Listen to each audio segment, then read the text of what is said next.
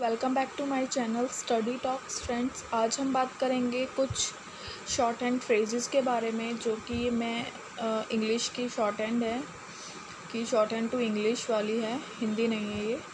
तो इसमें जो फ्रेजेस हैं, उसके बारे में हम डिस्कस करेंगे, कुछ फ्रेजेस की आउटलाइंस देखेंगे, कि उसको कैसे लिखा जाता है। This has been this has been T H and S this और हैज़ का सर्कल है एंड देन बी बी की लाइन है एंड एन की हुक लगी हुई है। तो दिस हैज़ बीन बन गया। Less and less less and less ऐसे लिखते हैं। थ्री और फोर थ्री और four F and R four facts of the case fact and S facts के and S case facts of the case of the जो है वो इसमें साइलेंट है।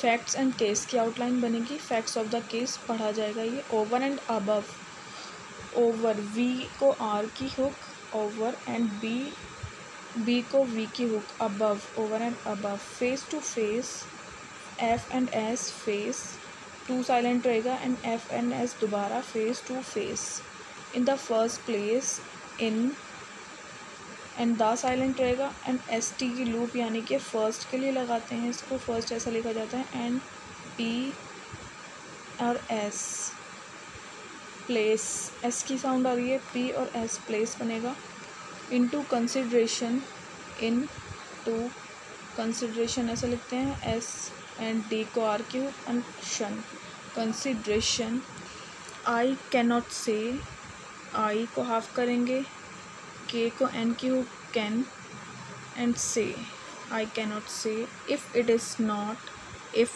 को हाफ़ करके टी उसमें ऐड हो जाएगा. इफ़ इट इसके लिए एस इसकी इसका एस सर्कल एंड नॉट के लिए एन को हाफ़ करेंगे तो नॉट बन जाएगा. If it is not able to make में बी को एल की hook able and M to silent रहेगा एंड मेक के लिए M and K make they would they के लिए they T H and would को हम डब्ल्यू को हाफ़ करेंगे वुड बनेगा they would. I know there is I know there जिसके साथ देयर लग जाता है वर्ड के साथ तो उसको डबल कर देते हैं there and is I know there is ये है बिफोर देयर बी को बिफोर uh, की साउंड आएगी एंड आर uh, के आर जो होगा बिफोर आर आर को डबल कर देंगे।